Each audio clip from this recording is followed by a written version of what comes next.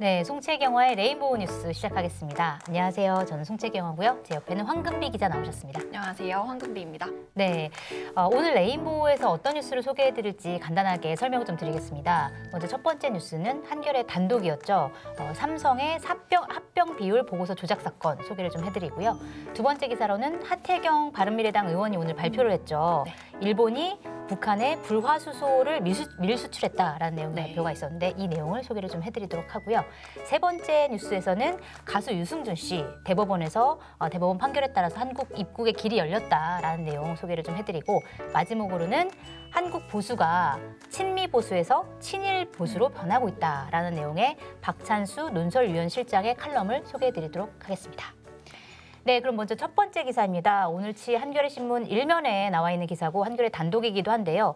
어, 다들 아시겠지만 2015년에 제일모직과 삼성물산이 합병할 당시에 합병 비율의 적정성을 평가한 보고서가 있는데 이 보고서는 이제 회계 법인에서 작성을 하잖아요.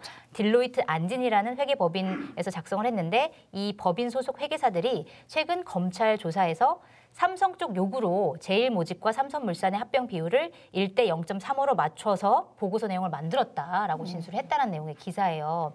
그러니까 어, 이 기사에 따르면 삼성물산의 대주주가 국민연금인데 국민연금이 자신들에게 손해가 되는 그런 합병에 찬성하게 하는데 결정적인 근거로 이 보고서가 쓰였거든요. 그래서 굉장히 문제가 있는 거고 또 이재용 삼, 삼성전자 부회장의 그룹의 지배력을 높이기 위해서 국민들의 노후 자금 그러니까 국민연금의 자금을 헐도록 한 어, 삼성 쪽의 책임이 더욱 명백해지는 것이다라는 내용의 기사인데 네. 결국 국민연금이 그럼 얼마나 손해를 보게 된 건가요? 네, 이게 참여연대에서 추산한 수치가 있는데요. 네. 이 합병으로 이 부회장이 얻은 금전적인 이익이 네. 2조에서 3조 6천억 원 네, 네. 정도에 이른다고 하고요. 네. 또 국민연금은 3,300억에서 6천억 원 정도 손해를 본 것으로 네, 나타납니다. 6천억 원이면 저도 국민연금 꼬박꼬박 내고 있는데 저도요. 저의 피 같은 돈이 어마어마한 그렇게 나갔다고 생각하면 정말 억울한데 네. 그 어쨌든 이번 진술로 그러니까 8월로 이제 예상이 되고 있는데 8월 이후로 예상되고 있는 박근혜 전 대통령과 그다음에 이 회장 이재용 부회장의 국정농단 네. 대법원 선고가 지금 예정이 되어 있잖아요. 이거에 영향을 음. 줄 것이다라는 지금 평가가 나오고 있는데 이 대법원 선고의 핵심 쟁점이 이거거든요. 어, 이 부회장이 경영권 승계를 위해서 박근혜 전 대통령과 뭐 부정한 청탁을 주고받았다 네. 이게 핵심 쟁점인데 결과적으로 이게 검토 보고서가 이제 조작이 됐다라는 게 좀 드러나면서 이 승계 작업이 없었다 계속 삼성이 이렇게 주장을 해왔는데 그 주장이 좀 궁색 해졌다라고 맞습니다. 얘기할 수 있을 것 같은데 네. 이 기사에 대해서 좀 어떻게 보셨어요? 아, 근데 저도 사실 최근에 검찰 조사가 계속 진행이 되면서 이 합병 당시의 상황이 계속 나- 이렇게 드러나고 있잖아요. 네네. 근데 기사를 보면서 이게 과연 가능한 일인가 싶은 생각이. 네. 계속 들더라고요. 이게 보통 저도 몰랐는데 회계법인을 두고 자본시장의 파수꾼이라고 불릴 정도로 맞습니다. 굉장히 회계 정보는 공정하고 되게 윤리적인 책임감 있게 그렇죠. 다뤄져야 될 정보인데 네. 오직 이 재벌 총수의 이익만을 위해서 위법 행위를 했다는 사실이 좀 충격적이기도 하고 맞습니다. 네 그런 게 아닌가 싶습니다. 이런 회계법인들이 뭐 회계 감사라든지 기업 감사들을 네. 굉장히 많이 하는데 앞으로 이런 것들을 어떻게 신뢰할 수 있을지에 그쵸. 대한 어, 고민이 아, 그 우려가 좀 드는데요. 네. 이 기사에 대한 댓글 좀 어땠나요? 어, 댓글이 굉장히 많이 달렸고요. 네. 이슈도 많이 됐는데 우선 가장 큰 의, 어, 의견은 철저한 수사와 처벌을 요구하는 의견이 압도적으로 많았습니다. 네. 그래서 어떤 한 누리꾼은 어, 회계법인의 김앤장이라고도 불리는 이 Deloitte 안진 아 Deloitte 안진은 네. 회계법인의 김앤장 그쵸. 굉장히 큰 굉장히. 큰 회사입니다. 네. 그래서 철저하게 수사해서 어, 삼성과 함께 배상을 시켜야 한다. 이재용 부회장의 고의성이나 부정이 확실하게 드러난다면 피해 금액을 환수하고 처벌하는 특별법을 어. 마련하는 것도 필요해 보인다. 네, 맞습니다. 제가 국민연금에 돈을 내는 사람으로서 정말 그쵸. 돌려받고 네. 싶은 생각이 드네요. 네, 그래서 아무래도 이제 부당한 방- 합병으로 가장 큰 손해를 입은 곳이 국민연금이다 보니까요. 그렇죠. 이에 대한 우려도 굉장히 컸는데요. 네, 이게 손해 입은 국민연금이 한두 푼도 아니고 그렇죠. 네, 수천억 원대라고 하니까 정말 심각하네요. 계속 국민연금을 내는 게 맞는지 회의감이 들 정도입니다. 아, 네, 네. 이런 의견도 있었습니다. 국민연금 막 안 내겠다라는 분들도 많아가지고 맞아요. 한때 네. 굉장히 국민연금이 위기에 처했었는데 네. 이런 뉴스가 더 그런 것들을 악화하지 않을까 좀 걱정이 되기도 하네요. 하네요. 네, 그렇습니다. 또 어, 마지막으로 사실 우리나라의 특유의 그런 족벌 경영 그 자체를 좀 문제 삼는 그런 네. 비판하는 목소리도 많았는데요. 어, 국민연금이 금전전 손해를 입은 것도 문제지만 이재용 부회장이 없으면 삼성이 망한다. 삼성이 망하, 음. 망하면 국가 경제가 망한다. 이런 심리가 더 아, 문제라고 네. 생각합니다. 또 삼성 무너지면 나라 무너진다고 걱정하시는 분들 잘못한 거 있으면 바로 잡아야 하는 거 아닐까요? 뭐 기업 총수들이 존경 받는 시대에 살고 싶네요. 이런 네. 의견들도 굉장히 많았습니다. 맞습니다. 잘못한 것은 고쳐야 되는 것이고 네. 삼성의 이재용 부회장이 없다고 삼성이 무너지는 건 또 아니니까요. 안 무너질 거예요, 아마. 네. 좀 다르게 생각할 필요가 있을 것 네. 같습니다.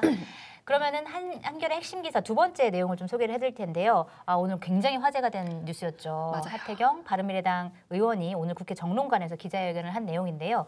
어, 하태경 의원의 주장은 이거예요. 그러니까 일본의 안전보장 무역정보센터에서 입수한 부정수출 사건 개요 자료를 분석을 해보니까 일본에서 1996년부터 2013년까지 17년 동안 네. 그 30건이 넘는 대북 밀수출 사건이 발생했다라는 건데 이 중에서는 핵 개발, 생화학 무기에 활용 될 수 있는 전략 물자도 포함돼 있다라고 주장을 하고 있었던 거고요.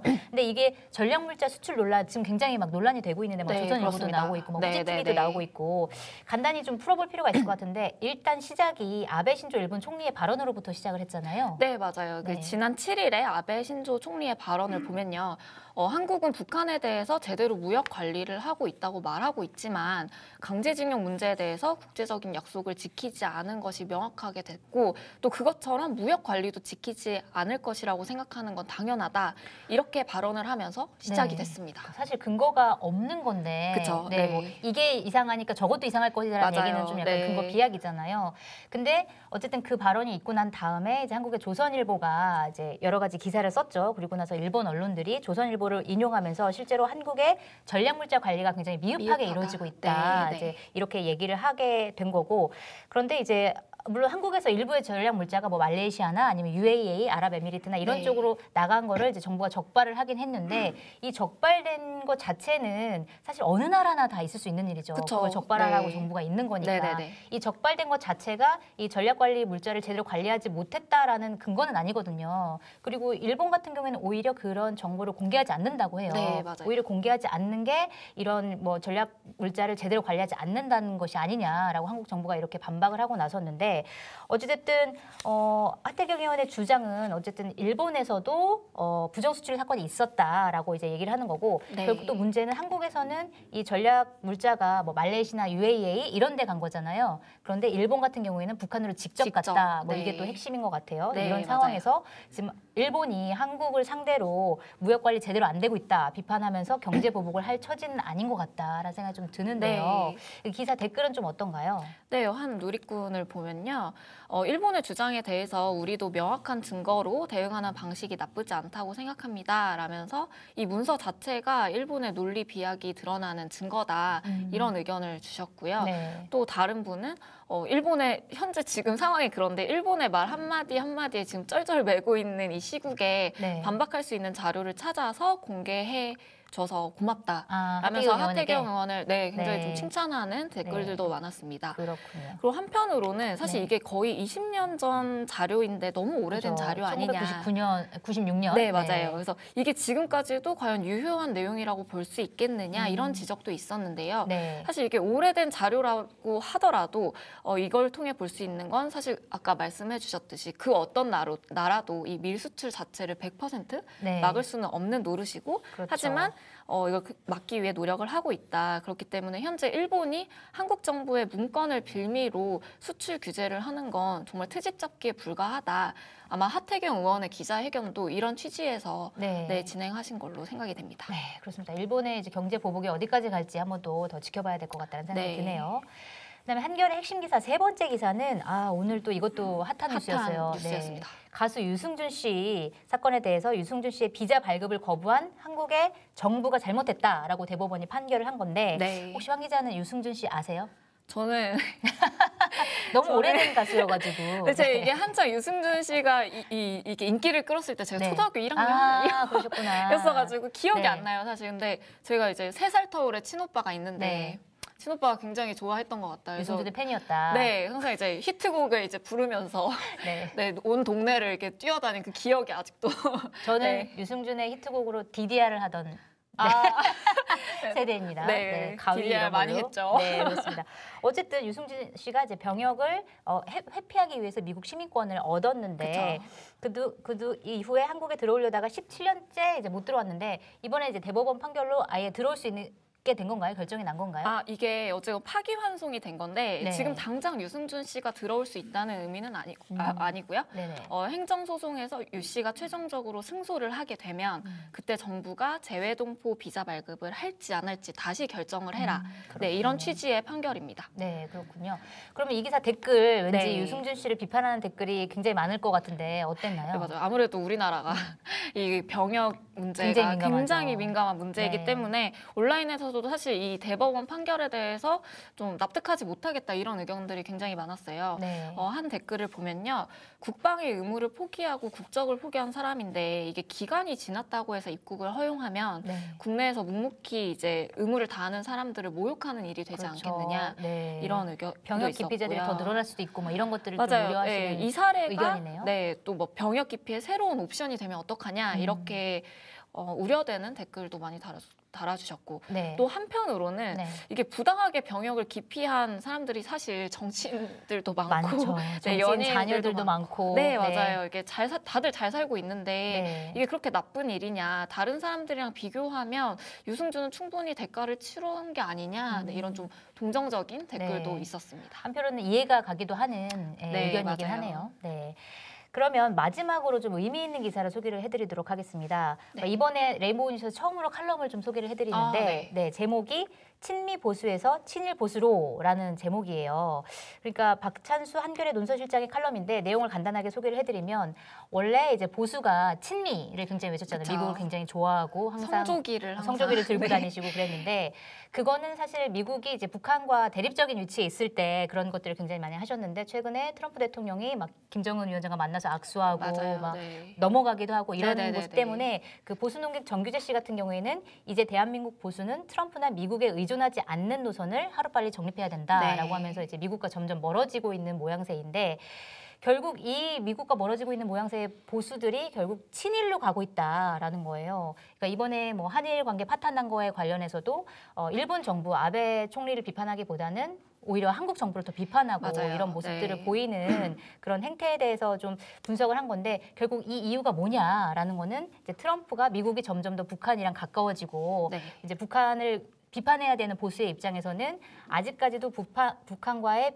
좀 약간 적대적인 관계를 유지하고 있는 일본 쪽에 조금 더 마음이 더 가기 때문에 뭐 친일 쪽으로 가는 거 아니겠느냐라는 분석인 것 네. 같아요. 그래서 어, 미국의 트럼프가 빠져나간 자리에 심리적 공백을 아베가 채워주는 것은 아닐까라는 것으로 이제 끝맺음을 하고 있는데 어, 이 칼럼 좀 어떻게 보셨어요? 네, 아무래도 최근에 계속 뭐 일본의 경제 보복 사태가 이어지고 하다 보니까 네. 이 원인을 문재인 정부의 외교 실책에서 찾느냐 아니면 아베 정권의 무모한 행동이다 더 책임이 있다 이렇게 좀 많은 의견이 나뉘잖아요. 네네네. 근데 사실 이제 보수 성- 성향의 사람 들은 그것조차도 좀 기존에 가지고 있던 정치적 성향에 따라서 음. 좀 입맛대로 판단을 하는 게 아닌가 그런 생각이 좀 들더라고요. 네, 그렇군요.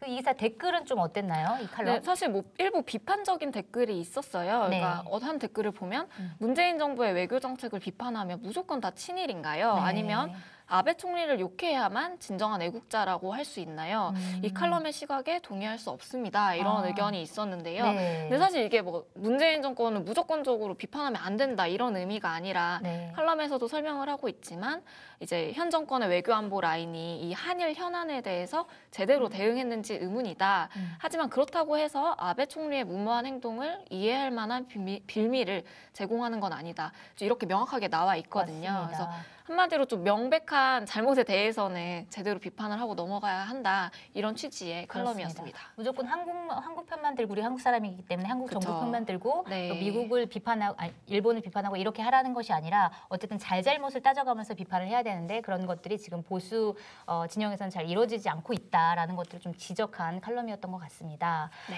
네, 레인보우 뉴스에서 소개해드릴 기사 다 얘기를 해드렸는데요. 댓글 한번 라이브 댓글 한번 살펴볼까요? 아 벌써 90명이 넘는 분들이 오셨 는데 네, 오드, 많이. 네, 오드아이님께서 이런 댓글을 남겨주셨어요. 지금 상황에서 누가 친일파인지 뚜렷이 드러난다. 일본 우익이 조선과 자유당을 인용해 여론을 만들고 있다라는 얘기를 하셨고요. 그다음에 아디름님 불화수소란 단어가 유행인 게 신기하네요. 한일관 불화. 또 이제, 아, 불화라서. 어, 네, 불화. 네, 어, 말 개그를 또 해주셨어요. 네, 아재 개그라고 또 아. 말씀하셨고, 네, 윤재필님 유승민을 아세요? 격세지감을 느낍니다. 벌써 17년이 지납니다. 아. 유수, 유승민이라고 하셨는데 아니라 유승준. 유승준이 네, 유승준입니다. 제가 유승민이라고 한 건 아니겠죠? 아, 아, 네, 네, 네. 승준이는 국민 정서상 괘씸죄에 제대로 걸린 케이스지만 법적 형평성을 그러게요. 고려하면 좀 부당하다는 생각도 듭니다. 네, 유승민 오타를 내셨다고 합니다. 네, 네. 유승준님, 유승민 국회의원은 잘 지내고 계시겠죠? 네, 잘 지내고 계실 것 같고요. 조우님께서 희기성이시네요. 송채라는 성도 있었네요. 라는데 네, 송채라는 성은 없고요. 송은 아버지 성이고 채는 어머니 성 같이 붙여서 송채경화를 쓰고 있습니다. 네. 네, 오늘 레인보우 뉴스에서 여기까지 뉴스를 좀 전해드리도록 하고요. 잠시 뒤에는 김보엽 기자가 진행하는 뉴스룸 토크가 진행이 되니까요. 많은 분들 시청 부탁드립니다 감사합니다. 감사합니다.